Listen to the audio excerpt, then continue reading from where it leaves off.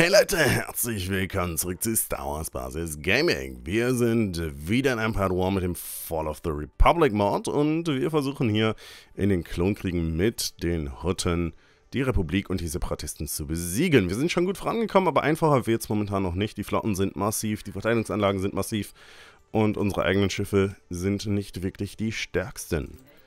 Deswegen müssen wir mal ein bisschen was hier an Schiffen nachbauen. Ähm, und hoffen, dass es hier funktioniert. Hier unten bei Solus haben wir auch schon eine ganz gute Flotte zusammengestellt. Und hier bei Kuat bauen wir schon ein bisschen was. Und hier können wir auch nochmal ein bisschen was bauen. Die Frage ist jetzt, versuchen wir nochmal Mandalore. Das war beim letzten Mal schon ziemlich schwierig. Jetzt sind es hier nur noch 284. Ähm, nach Ferda will aber auch eine Flotte kommen.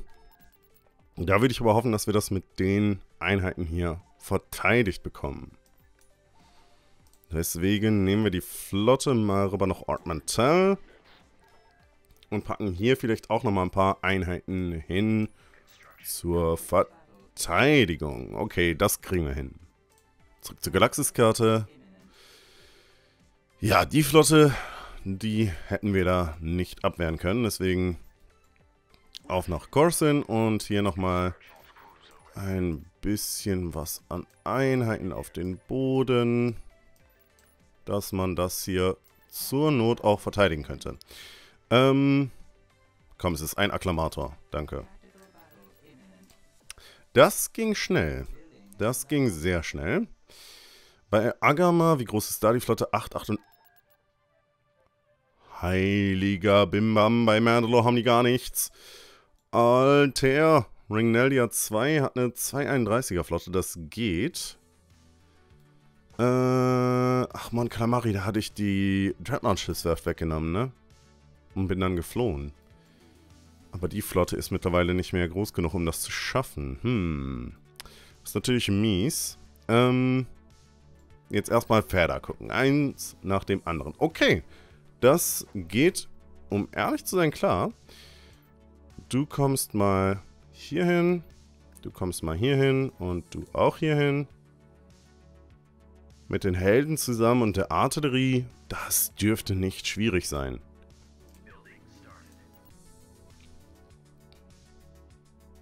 Wir müssen nur gucken, dass wir hier uns auf äh, Bombardierungen auch gefasst machen und deswegen auch Anti-Flugtürme überall hinbauen. Aber das geht.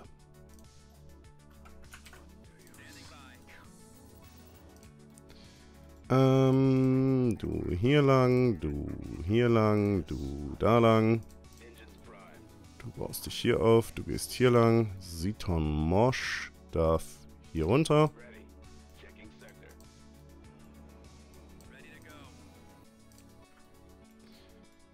Ähm,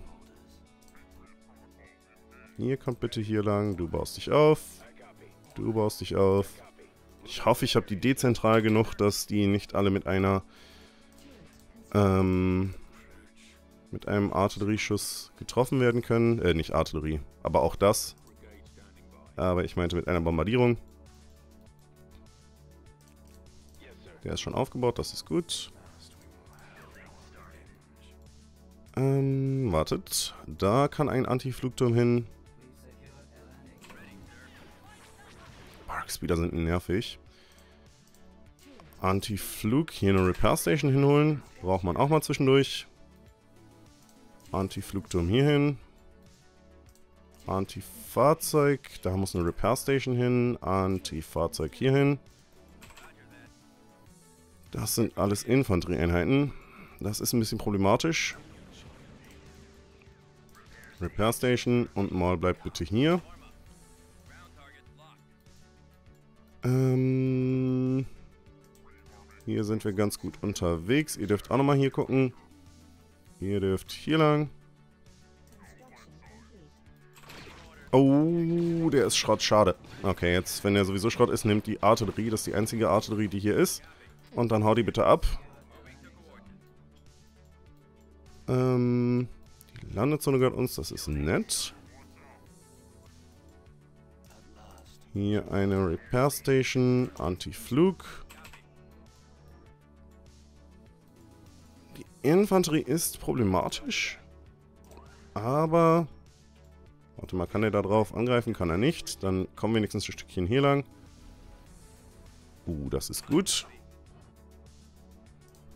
Hier machen wir nochmal zwei Repair Stations. Für den Fall der Fälle, dass wir uns da nochmal ein bisschen besser reparieren lassen müssen können, was auch immer. Ihr verteidigt ihn bitte. Anti-Fahrzeug. Ja, holen wir auch Anti-Fahrzeug hin. Aber die müssten durch die Artillerie hier weggehauen werden.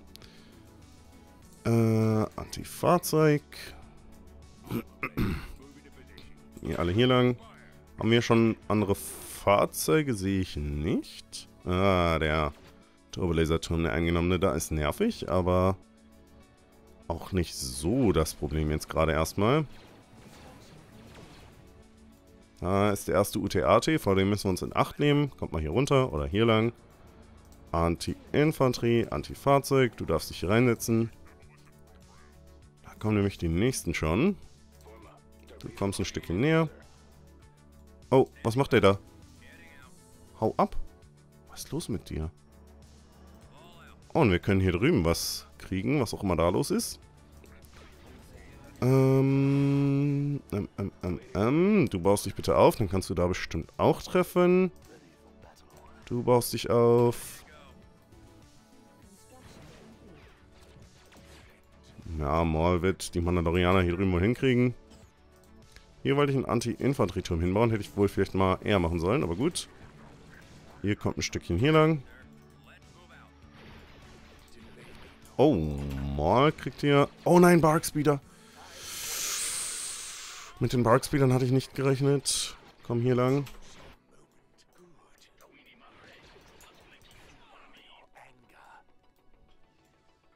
Du schießt auf die UTATs, das ist super. Anti-Fahrzeug, Anti-Infanterie, du setzt dich hier rein.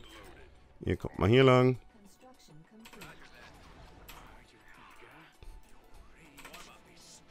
Uh, das war knapp. Das war knapper als knapp, aber gut. Ähm, du darfst jetzt auch mal ein Stück zurückkommen. Hier, beschützt bitte ihn. Du darfst hier langkommen. Und... Oh, mehr Barkspeeder nicht gut. Versucht mal hier den Turbolaser-Turm zu vernichten, dass der euch nicht so sehr nerven kann, bitte. Und dann haut mal ab, den nächsten verlieren wir nämlich jetzt schon wieder. Hier bitte alle hier lang. Okay. Maul wird auch langsam wieder. Da kommen die Barks wieder hier leider durch. Ihr beiden versucht ihn zu beschützen. Du darfst hier lang. Wo ist Siton Mosch? Du kommst hier zurück und... Oh, da ist der Juggernaut. Ähm... Gucken wir mal. Geht auf den Anti-Fahrzeugblaster bitte. Wenn wir den Juggernaut schon mal wegkriegen könnten, wäre das super. Oh, nicht gut. Das werde ich nicht mehr rechtzeitig schaffen, glaube ich. Ja. Schade. Eine Artillerie verloren. Hätten wir hier Schild, planetaren Schildgenerator, wäre das alles nicht so schlimm, aber gut. Hätte, hätte, Fahrradkette. Oh, Oppress darf auch mal ein Stück zurückkommen, bitte. Ihr nehmt euch hier die UT-Artis vor. Oppress haut ab. Ja, aber das ist ganz gut. Erster UT-AT vernichtet mit jede Menge Infanterie drin. Und sie fliehen. Mit ein bisschen Glück habe ich nur die eine Artillerie verloren. Ja, und einmal Flugeinheit. Schade. Aber wir haben es trotzdem hier gewonnen. Und Mandalore sieht jetzt leerer als leer aus. Gut, das ist winzig, die Flotte hier bei Bunta. Deswegen... Damit kommen wir klar. Die Frage ist, wie es mit Ringneldia aussieht. Die bringen jetzt hier Bodeneinheiten hin. Hm, das ist ja nervig. Wie groß ist die Flotte? Outreserven wir, da sollte nichts passieren. Ähm. Okay. Und ja, eine. Meine Güte. Okay, bei Mandalore haben sie jetzt was, aber das ist vollkommen egal, solange die hier keine Raumstationen mehr haben. Ähm, ist das jetzt hier gleich meins. Ich muss nur Bodeneinheiten darüber kriegen. Oh, wir verteidigen jetzt. Das ist dumm. Das ist sehr dumm, aber okay. Kriegen wir schon irgendwie hin. Äh, ah, warte mal. Hier beiden. Bleibt beim Dorbulla. Du darfst ein Stückchen vor.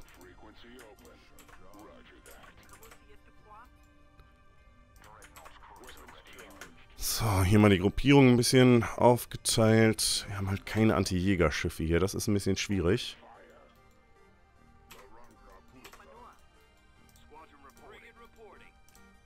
Bleibst bei ihm. Du bleibst bei ihm. Du bleibst bei ihm. Meine Flotte ist trotzdem deutlich größer, aber... Na, Karaga bleibt mal ein Stück zurück. Die sollen sich alle ruhig auf den Dorbulla konzentrieren.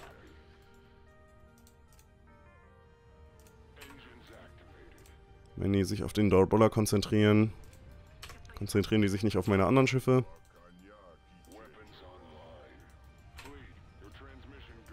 Und der kann einiges an Schaden einstecken, die anderen Schiffe eher nicht. Meine Jäger dürfen erstmal hier generell in die Richtung fliegen. schon. Na, das ist nicht gut. Greif du mit hier an. Du mit hier angreifen, bitte. Ich meine, der Akklamator dreht sich jetzt wenigstens weg. Äh, der Minator. Das heißt, wir greifen jetzt erstmal hier den Akklamator an, dass der wegkommt, aber der... Der Karaga Destroyer, dass die jetzt auf den gehen und nicht auf den Dorbula. Ne, das nervt mich. Das nervt mich extrem. Aber was will ich machen? So schnell komme ich hier auch nicht durch die Schilde, dass ich den jetzt sofort super retten könnte. Lass nochmal ein Stückchen hier lang. Kann mit den beiden noch ein Stückchen weiter nach vorne, dass die den vielleicht ein bisschen noch heilen können. Nehmen wir die Turbolaser, die sind am wichtigsten gerade. Schweren dualen Turbolaser vor allem hier drüben. Komm schon. Boah, der verliert schon wirklich sehr viel.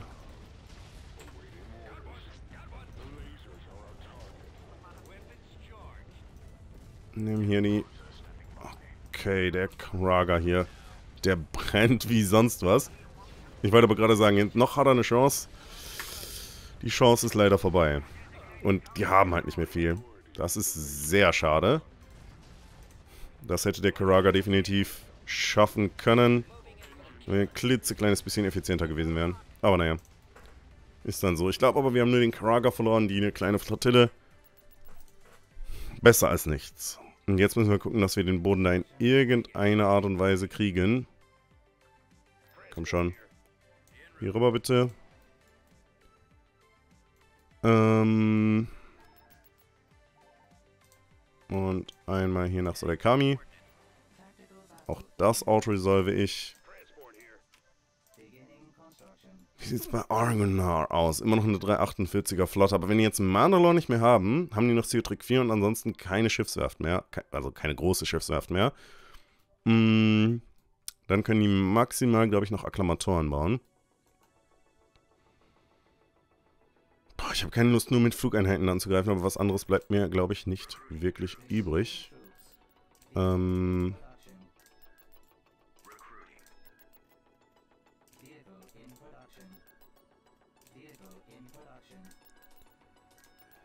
Hoffen wir mal aufs Beste. Bei Onron vielleicht nochmal. Ah, das Ding ist eigentlich nicht so gut. Vielleicht eher das holen. Und dann müssen wir hier bei Mandalore halt gucken, dass wir mit den Einheiten klarkommen. Die Mandalore Map ist immerhin groß und die haben nicht viele produzierende Gebäude. Sehr viel TX-130 Säbelpanzer, aber das Ach, es ist die Mandalore Map. Die andere hätte mir besser gefallen, aber gut. Mit den Flugeinheiten können wir relativ easy peasy den planetaren Schildgenerator auseinandernehmen. Und dann müssen wir einfach die Daumen drücken, dass wir einige Mandalorianer bekommen und die Republik hoffentlich weniger Mandalorianer als wir. Mal schauen. Ah, ich hätte gerne da oben... Wow! Eins, zwei, drei, vier. Das ist, ähm... Wo sind meine Einheiten hier? Ne, greift ihr da bitte an, nicht ihr beiden hier. Ihr dürft hier lang gehen, einer darf hier reinlaufen, einer darf hier lang gehen. Einer von euch darf hier rüber. Und ja, da sind die TX 130 Säbelpanzer, die mich fertig machen. Äh, du holst hier mal Repair Stations bitte. Und ihr fliegt in die Richtung. Kann einer von euch hier abhauen? Wahrscheinlich nicht, ne?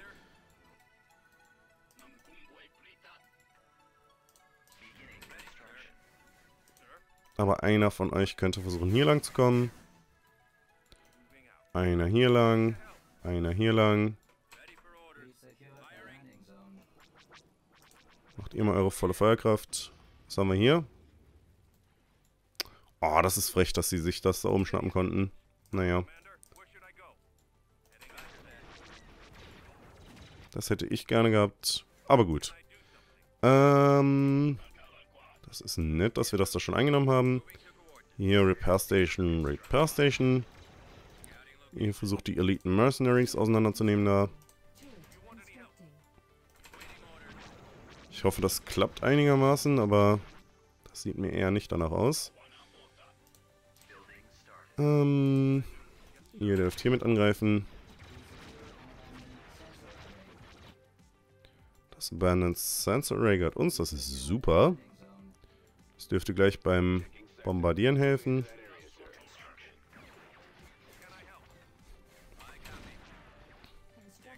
Wir haben noch einigermaßen Leben, deswegen fliegen wir jetzt mal hier rüber in der Hoffnung, dass wir da die UTAAs vernichtet bekommen. Ah, wartet, kommt mal alle hier lang. Du baust dich auf. Da können wir einen Anti-Fahrzeugturm holen.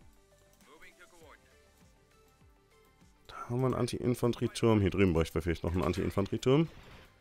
Ich sehe die UTAAs halt noch nicht, was mich ein bisschen nervös macht, muss ich sagen. Oh, da sind sie. Hm, komm schon. Die TX-130 Säbelpanzer können halt auch mega gefährlich sein. Wir verlieren gleich schon die erste Einheit. Aber beide UTAs sind Schrott, deswegen hauen wir mal ab. Hoffen aufs Beste.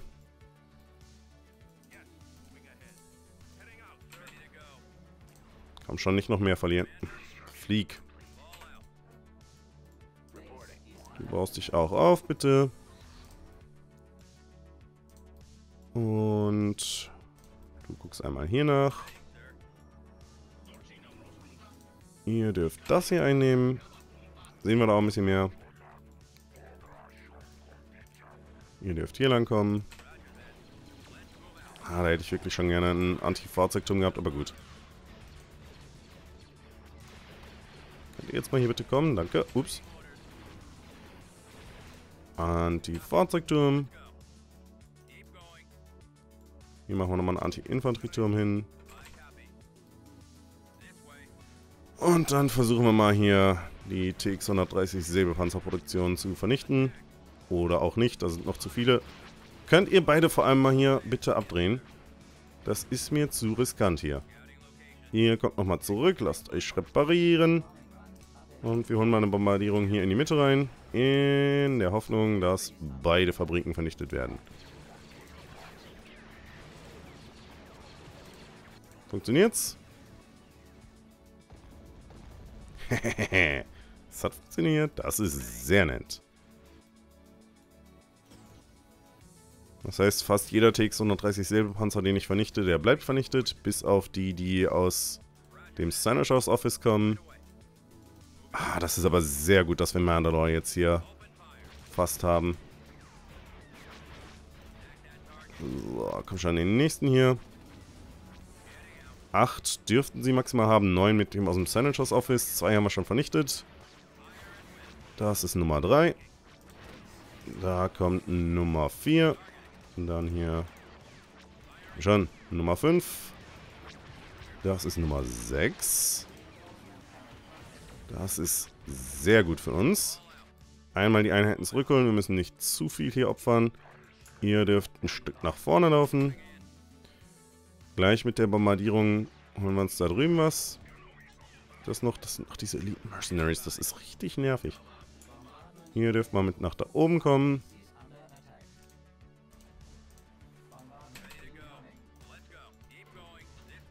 Oh. Der muss weg. Hoffen, dass hier nirgendwo ein Anti-Flugturm ist. Und oh, die haben nicht mal ein Dings gebaut hier.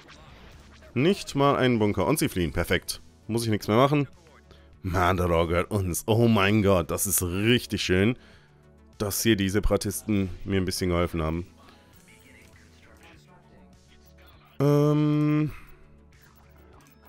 Agama kann ich jetzt nicht mehr sehen, deswegen lass uns bei Arcania nochmal ein paar Prop Droids holen. Einen haben wir noch bei Carida. Einmal hier rüberfliegen. Die kommen noch zu der Flotte hier bei Corda 6. Die kommen noch zur Flotte bei Corda 6. Und dann hätte ich ganz gerne ein paar mehr Lightminster Space Yards für die Flotte hier bei Mandalore. Argona hat 264. Wie sieht es hier unten aus? Der Vontor braucht noch ein bisschen. Vielleicht auch nochmal wirklich so einen Jägerträger mit dazu holen. Äh, und die Frage ist, hier haben wir ja ein paar Helden. Sind das alles nur Hardlords? Was bringt uns denn Hardlord? Uh, Ulal ist Command Tier 2. Vielleicht hole ich Ulal dann in den anderen rein. In die andere Flotte. Ne, wartet. Wo haben wir es? Ist das hier? Nein. Ist es das? Das ist es. Äh, Hardlord. Plus 5% Schilde, 5% Schaden, 5% Speed. Oh, das ist jetzt auch nicht schlecht. Ähm, aber nehmen wir Ulal vielleicht mit in die Flotte hier. Damit können wir Kashyyyk angreifen. Und dann sollten wir mal einmal... Oh, bei Agama ist gar nichts mehr. Das ist gut zu wissen. Damit könnten wir uns Agama nehmen, dann wäre Corsin sicher. Vielleicht machen wir es mit dieser Flotte einfach. Ähm, die war zwar eigentlich für Kashyyyk gedacht, aber Mandalore muss jetzt gerade noch ein bisschen gesichert bleiben, deswegen... Oh nein. Ja, Beam. Das ist nicht nett, aber die kommen von Ringneldia. So, die Frage ist, mit der Flotte, die wir hier haben, können wir da Yabi hinkriegen? Ich glaube. Und dann schaffen wir nämlich auch Ringneldia. Das bedeutet auf nach... Hallo, hallo, bevor hier irgendwas passiert, auf nach Yabi bitte. Ähm... Aber da um die Dreadnought-Schiffswerft mit Moncala gefällt mir absolut nicht, dass die da noch so fette Schiffe wie Subjugator-Klassen oder Lucrikes bauen können. Ähm, um ehrlich zu sein, ist es zwar ein bisschen gefährlich, aber ich möchte ganz gerne das ein oder andere Schiff vernichten, bevor hier 50.000 ähm, Jäger rumfliegen. Deswegen erstmal nur ihn holen. Und wenn wir ein bisschen was an Gefahr gebannt haben... Nein, nein, nein, nein, nein. Du sollst auf den gehen. Der nimmt deine Raketen weg. Danke. Der ist nicht mehr so wichtig. Holen wir uns 1, 2, 3 Karagas. Den Hoodlord, der bringt ja doch noch was. 1, 2, 3, 4. Hier mit ähm, vollen Feuer bitte. Hier kommt ein Stückchen hier lang. Hier nochmal ein bisschen was an Anti-Jäger dazu holen. Du darfst auf den gehen. Oh, mit den Raketenwerfern das sind drei Karagas gar nicht so wenig. Aber jetzt erstmal möchte ich versuchen, dem Luke seine... Äh, das ist aber gut, dass der ein Battle Carrier ist.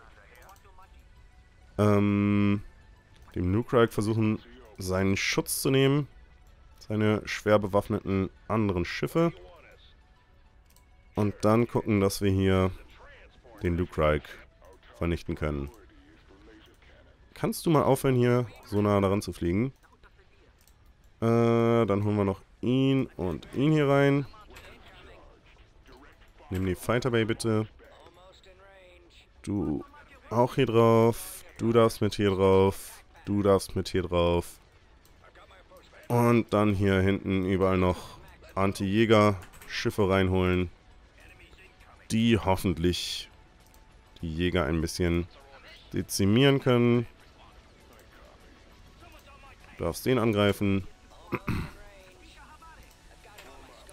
Komm schon, das muss doch jetzt mal klappen hier, oder nicht? Nimm die Engines bitte.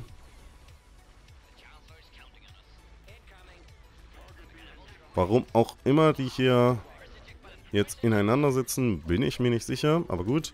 Nimm die verschiedenen Fighter Base. Dass er gleich keinen neuen Jäger raushauen kann. Ich glaube, damit sind alle Fighter Base weg.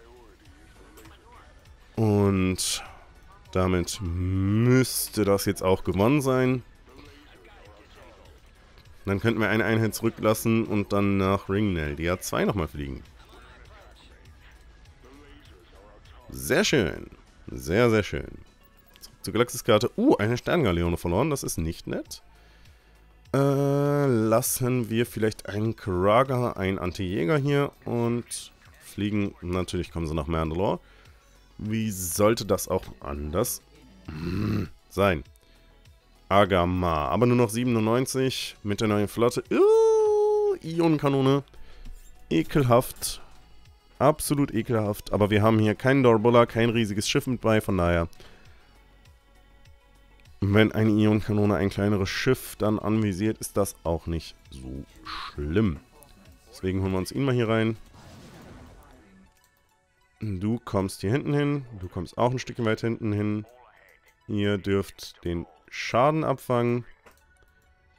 Der Wantor darf noch ein bisschen weiter vorne. Eins, zwei, drei. Und hier durch die Flotte verteilt. Auch ein bisschen was Anti-Jäger und Anti-Rakete. Und den noch reinholen. Du darfst hier mit drauf. Brace bitte. Hier alle. Bracen. Du darfst hier drauf gehen. Du darfst hier drauf gehen. Ihr hier drauf. Ihr hier drauf ihr auf den. Und ihr beiden könnt ihn hier versuchen. Oh, was wir jetzt nicht haben, ist in der Flotte auch gar nicht, ist ein Heiler. Der hier vielleicht auch eine Interdiction Mine raushauen könnte. Aber gut, müssen wir halt irgendwie mit leben.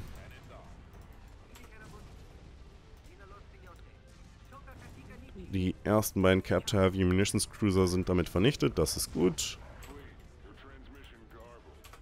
Die Vontors hauen hier auch nett raus. Ah, ihr habt zwar schon einiges verloren, aber geht noch. Nehmt hier die leichte Turbolaser-Batterie, dass der auf jeden Fall nicht mehr weiterschießen kann mit seiner Waffe. Der ist auseinandergebrochen. Ja, ich glaube, damit kriege ich Kashyyyk auf jeden Fall auch mit dieser Flotte. Auf die Engines hier drüben. Die leichten Turbolaser bitte. Und dann darfst du schon mal ein Stück durchfliegen. Die Vontors auch.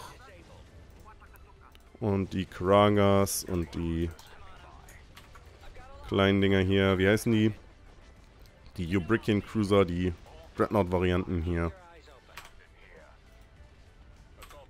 Ähm, Gehen jetzt mal hier drauf.